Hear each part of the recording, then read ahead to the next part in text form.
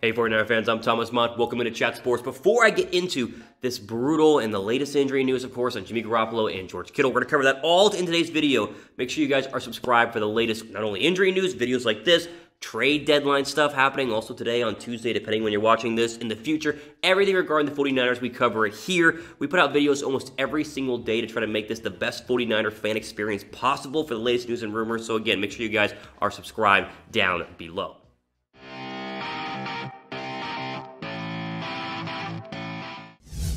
All right, so you saw the title of this video. You understand how this works. You understand what's going on today. Injury news, injury news, injury news. And not just any injury news, because we've been talking about, you know, listen, this guy gets injured, that guy gets injured, big injury news. I mean, the 49ers had massive blows to not only their offense, but to their potential playoff chances on Sunday. You know who they are. It's Kittle and Jimmy Garoppolo. Let's break those down one at a time, starting with Jimmy Garoppolo and his re-injured high ankle sprain. So essentially, it's the same injury that he had in week two against the Jets, which of course knocked him out not only the second half against the Jets, but then, then the Giants, and then the Eagles game as well. He re-injured it. And that's the problem with high ankle sprains. They're nagging and they are easily, let's just say again, re injured. So, the timeline here is six to eight weeks, but it could require surgery, which would result in him being done for the year. So, six to eight weeks is the best case scenario. Him being done for the year is I'd say a, a, most likely scenario, though, at this point. Again, don't know when they're going to officially say he needs surgery or not. Could be today, could be tomorrow, could be next week. But anyway, when you watch this video, just know at this time they are not sure about surgery just yet. But I'll, I'll,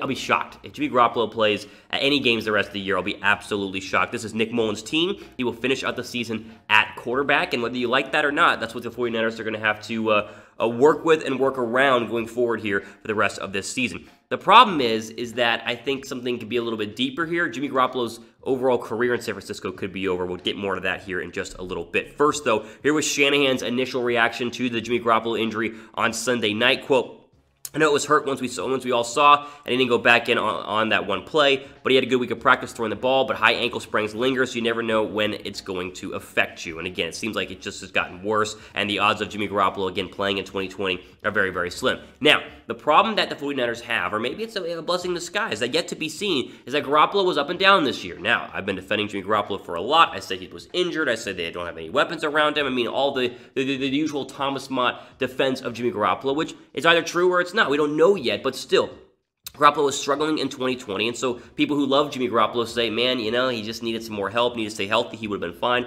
And people who hate Jimmy Garoppolo are saying this is good because now you get to see what Nick Mullens has for you. And of course, Mullens started uh, two and a half games, really, if you go for the Giants and then uh, the Eagle game and then half of the Jets game. So he's got a, a pretty good sample size of Nick Mullens. I guess maybe more uh, two and three quarters because he played, obviously, in the loss to Seattle. They, they, they are able to move the football. Nick Mullens is a very capable backup. That's why I said don't trade him in the offseason because you never know what happens with Garoppolo. And so now they have a very capable backup who is starting, arguably the best backup in the National Football League, at least a top three backup. So it's Mullens' team going forward, and we're going to learn a lot about it, just how how starter caliber, starter quality Nick Mullens is, obviously over the final eight games of the NFL season. First off, do you guys even believe in Nick Mullens? I'm very curious how many people are uh, not just excited to see Nick Mullens, but actually believe that Nick Mullens can lead this football team. Type Y down below for yes, type N down below for no. Now, this leads us into the elephant in the room, and that is the fact that Jimmy Garoppolo has no guaranteed money left on his contract. Now, he's signed through 2023, but San Francisco could very easily get off of Jimmy Garoppolo this offseason, and he could never play another snap in a 49er uniform. Steve Young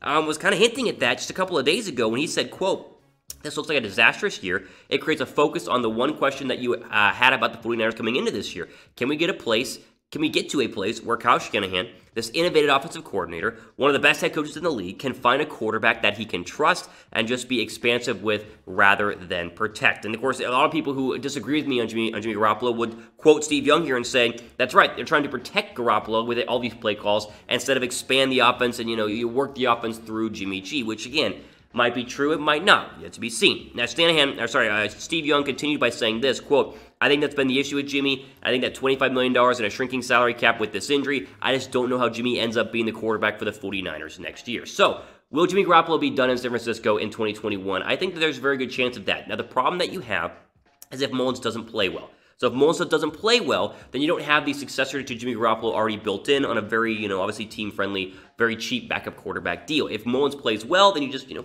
run with Mullens in 2021 because he's the quarterback of the future. But if Mullens doesn't play well, what's your option? Because they're not going to be in the Trevor Lawrence, Justin Fields sweepstakes. They already have, what, four wins this year? And they're going to get more. I mean, even though they got Green Bay coming up this Thursday night, we'll talk about that in a second. But still, this is a uh, yet to be seen situation. Do you, do you go sign somebody in free agency? If so, who? There aren't a lot of free agent quarterbacks coming out uh, this year. I mean, Aaron Rodgers, technically, but I mean, they're not going to be able to sign Aaron Rodgers. He'll stay in Green Bay. So this creates a whole issue for San Francisco that I don't know the answer to. And I think that our only option right now is to obviously hope that Jimmy Garoppolo feels better and, and, gets better. We want to wish the best for him, but it's Nick Mullens' time. And I'm not a big fan of Nick Mullens in terms of being better than Garoppolo, but a lot of people are. And so, you know, hey, he has his chance to prove it. And so we'll go ahead uh, and see what happens. But it looks like there's a very real chance, and Steve Young knows this stuff. He's, I mean, he's as in the, in the know. I mean, he has a lot of connections in San Francisco. Um, it looks like it could be it for Jimmy Garoppolo. Let me ask you: Do you guys think he'll play another year in San Francisco, even another game? Type one down below for yes. Uh, type zero down below for no. Now, it's all but certain he's not going to play uh, the rest of the year, but almost guaranteed. Not, I mean, it is guaranteed. He's not going to play against the Green Bay, Green Bay Packers on Thursday night. But still, a quick turnaround for the 49ers,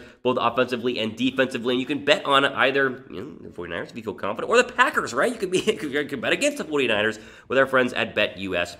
Right now, of course, Thursday night, Green Bay going to be tough, but maybe San Francisco can uh, show some heart and battle and win this football game. Bet on this game with our friends at BetUS. ChatSports.com slash 49bet. Use the promo code Niners125. Get 125% deposit bonus whenever you first sign up. So again, the, the, the season is not over. And we've talked about this for weeks. It is not over. They can still make a playoff push here, but and you start winning some football games. So bet on them to win those football games. That way they win and you win some money as well. Okay, other injury, obviously the George Kittle news. Nothing really um, uh, controversial here in terms of, you know, Kittle's last game. Now, listen, here's the deal with George Kittle. He has a fracture in his foot after the scans revealed that yesterday, and he's believed to be done for the year. So here's the thing with both of these players. They have not officially been placed on IR as of this video being filmed on Tuesday morning, November 3rd. But the next couple of days, you could see IR for both of them, meaning they free up roster spots, but also they are done for the year. So I, I think Kittle is absolutely done for the year. And this goes on for the, the 49ers have the worst luck. I mean, this year, this is the worst injury luck I think I've seen a team have in a very long time. Philadelphia and Dallas are the only two teams else in the National Football League right now dealing with this many injuries. But Philadelphia doesn't have a lot of star injuries.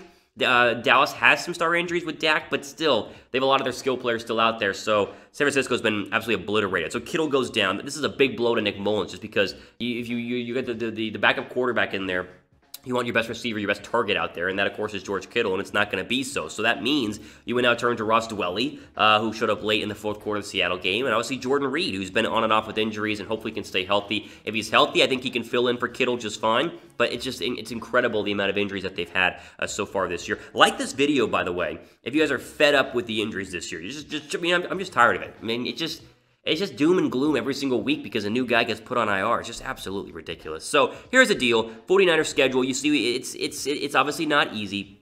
It's a very difficult schedule coming up. I think you're, you're going to learn a lot about uh, the 49ers on Thursday night against Green Bay. If they roll over and get blown out by Aaron Rodgers, who lost on Sunday, the defense is very porous. I mean, the defense can be beat. Then I think we're going to be uh, looking at a long next couple of weeks. But if they can somehow be competitive, not even win, but be competitive against a good Packer team, then they can they can have a real shot at at least being a postseason team. And honestly, you want to make the postseason every single year. There's no chance of getting a top five draft pick just based on the other teams that are terrible. So go win. I mean, I mean seriously, just just absolutely go win. And uh, let's just finish on a on an unbelievable note here. You see, the, you see the graphic. These are the 49ers on IR or headed to IR. I mean, look at this. You want to wonder what happened in 2020? Show someone this graphic. Garoppolo, Mostert, Wilson, Hurd, Kittle, Bosa, Ford, Thomas, Sherman. I mean, the, the, the graphics going back and forth. It's just, it's, it's really incredible. Like, it is really, really incredible that this has been the year for the 49ers. And again, the big thing to say here is it's not over, and they can technically still make the postseason. And honestly, I, I still think that there's a decent chance 40% chance, you know, 45. You win on, on Thursday night, it's going to go a long way. You guys think that they will, though? Type P down below for playoffs, type, or playoffs, type NP down below for no playoffs. There you go. Listen, I hate that I keep having to come on here and give you guys injury news. I wish we could talk about positive things like big trades, you know. I mean, the Kwon Alexander thing happened, but th- this is a lot bigger in terms of the injuries. But we covered the news. This is the news of the day for the 49ers. So hang in there, hang tough. We'll see what happens on Thursday night. We'll obviously be talking a lot more here in the coming days and weeks. All the time we have for today in the 49ers report. I'm Thomas Mott signing off for the rest of your day.